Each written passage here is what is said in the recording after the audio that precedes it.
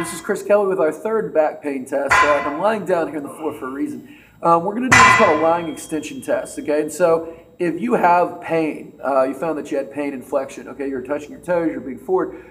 Positions of extension oftentimes relieve that pain. So coming into a position of relief is going to greatly help to reduce your pain, and it's another kind of go-to strategy that we can adopt throughout the day um, to, again, really start to change the conversation about pain. So what we're going to do with this test is we're just going to lie in this position, okay? What I'm doing is just my head is my hands, and I just want to breathe and relax. Just trying to let the natural curves of my back kind of reform, kind of reorient here. Okay, and so all I'm doing is I'm breathing into my stomach as well as into my back. Just trying to let my back actually arch into the ground. As I'm doing that, same same idea with my neck.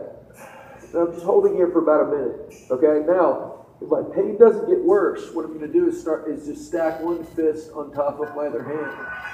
So we're going to create even more kind of an arch here. I'm going to do the same thing. I'm going to repeat the strategy. If I still feel good, I'm going to stack two fists on top of one another. Ultimately, I want to hold in this position for about three minutes, okay?